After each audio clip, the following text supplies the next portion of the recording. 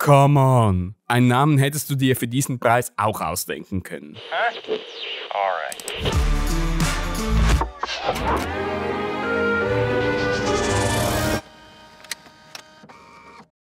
Hi, ich heiße Daniel. Keine Seltenheit als Schweizer Kind der 90er. Möchte mich aber nicht beklagen. Passt so für mich. Schließlich brauche ich so oder so rechtlich einen Namen. Laut Zivilstandsrecht in der Schweiz muss dieser spätestens drei Tage nach der Geburt eingetragen werden. Deutschland gewährt mit maximal einem Monat allen unentschlossenen Eltern noch etwas mehr Gnadenfrist. Aber dann braucht das Kind zwingend einen Namen. Gäbe es in der Kunstwelt eine Namensseparate, wäre ohne Titel bzw. untitled wohl Spitzenreiter. Viele Werke tragen tatsächlich keinen Titel. Eines der teuersten amerikanischen Bilder aller Zeiten zum Beispiel heißt Untitled.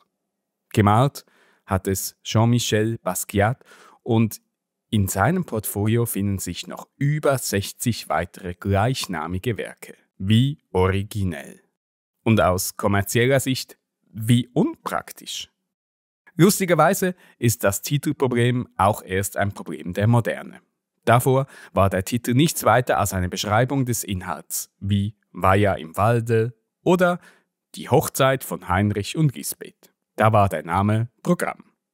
Spätestens, als es aber kunsthistorisch abstrakter wurde, häuften sich die umbenannten oder lediglich nummerierten Werke. Liebe Grüße an Mark Rothko oder Pablo Picasso. Tatsächlich erhielten viele berühmte Werke ihre Bezeichnung nicht von den Kunstschaffenden selbst, sondern von den Menschen, die sie verkaufen oder ausstellen wollten. Aus Sicht des Künstlers oder der Künstlerin sollte die Kunst für sich sprechen und vom Publikum unvoreingenommen betrachtet werden können. Jede Art von Titel gebe da zu viel vor und störe die Fantasie.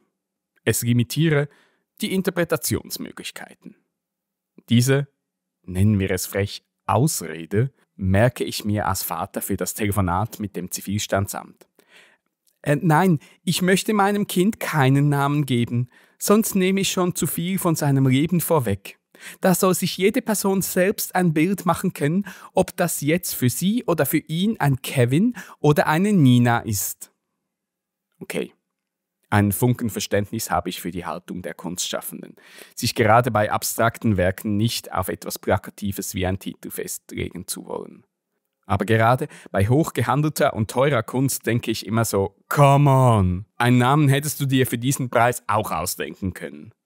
Vielleicht spricht da aber auch nur der Frust, da ich mich, sowohl privat als auch beruflich, schon in vielen Brainstormings zur Namensfindung befunden habe und ich so gerne einfach mal gesagt hätte, ach komm, wir lassen es und geben dem Ding keinen Namen. Klar, der Ball liegt auch bei uns, dem Publikum. Wir sollten den Titel nicht über alles setzen und ihn als Erklärung für alles nehmen. Kunst darf und muss Raum zur Interpretation bieten. Wir sind quasi in der Pflicht, selbstständig weiterzudenken und zu fügen, was das Bild, die Installation oder der Song uns mitteilen möchte. Falls uns der Künstler oder die Künstlerin später noch mehr erklären wollen, dürfen sie das gerne. Das ist dann aber fakultativ und steht definitiv nicht im Gesetzbuch der Kunst. Übrigens, ein Enkel von Pablo Picasso hat mal gesagt, Picasso almost never gave his works a title. His friends, agents and curators did it for him. Falls du also mal einen Freund für die Namensgebung brauchst, ich, Daniel, bin da für dich.